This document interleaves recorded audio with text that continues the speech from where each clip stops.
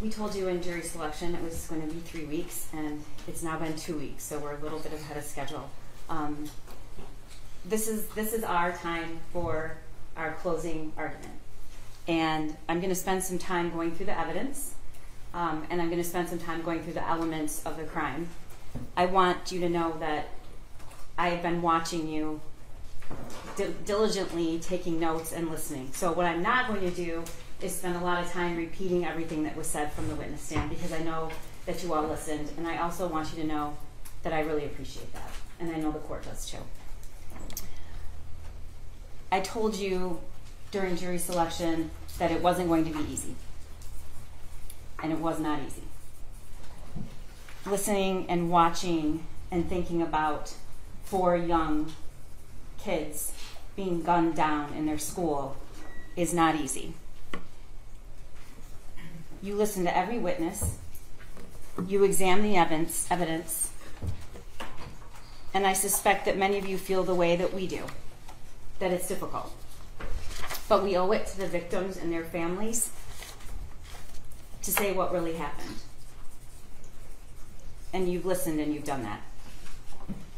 In our system of justice, we have different roles to play, and each role is different. There are people who think it's the prosecutor's job to convict people. I don't think that's the prosecutor's job.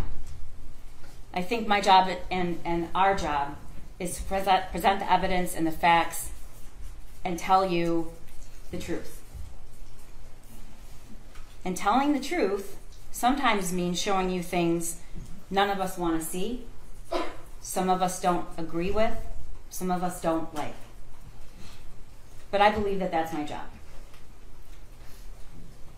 We don't pick or choose the very best things because I believe that you should have the truth.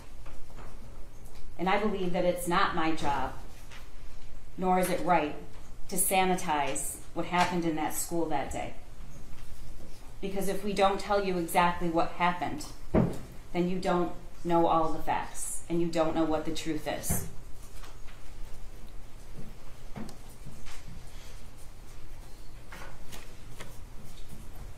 My job here, our job, that I believe we have done, is to meet our burden to prove that Jennifer Crumbley is guilty of four counts of involuntary manslaughter.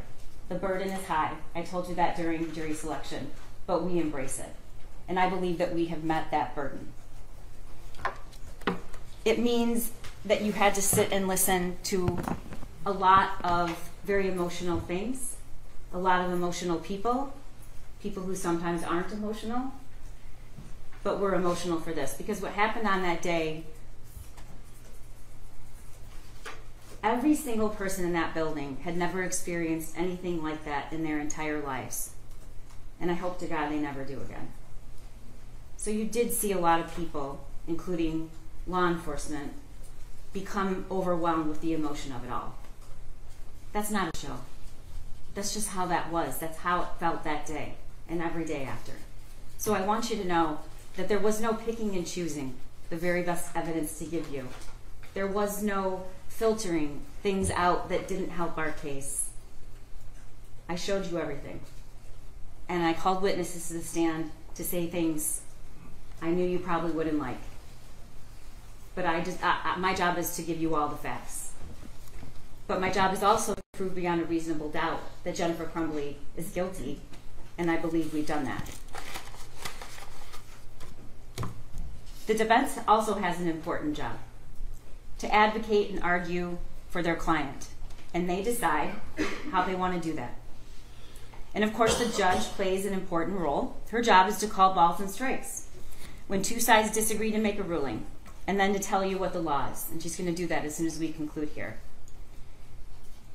And then there's your job. Your job is to decide what the truth is, what really happened, what are the facts, and then take those facts and find that find the, the truth and apply the law. The judge is going to give you instructions about the law, but I want you to go over what you now what you now know, and I want you to think about it.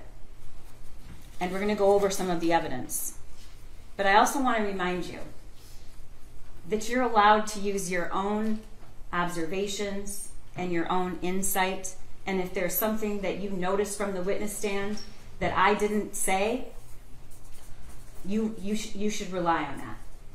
We can't possibly tell you every single little thing. And sometimes, sometimes, ladies and gentlemen, the most important things are the things that don't get said. The most important things are the way the victim or the witness spoke, the way they answered a question. And I encourage you to rely on your own perceptions of that. I want to start out by talking to you about the elements of the crime. Inver- involuntary manslaughter. She is charged with. This case is based on two theories. You're going to have all this in their jury room, but I'm, hopefully I'm going to explain it so well you will have no questions. Um, these are uh, dependent on, on two specific theories. One is the gross negligence in the performance of a lawful act, and that that gross negligence caused death, and in doing so, the act that caused death, defendant acted in a grossly negligent manner. The second is the gross negligence in failing to perform a legal duty. One, I have to prove that there that she had a le- legal duty to, to the victims. Two, she knew of the facts that gave rise to the duty. Three, she willfully neglected or refused to perform that duty, and her failure to perform it was grossly negligent to human life. And then four, the death of the victims was directly caused by defendant's failure to perform this duty. Causation. The judge is going to instruct you, maybe more than once, and I'm going to say it, that there may be more than one cause of death. And it's not enough that the defendant's acts made it possible for the death to occur.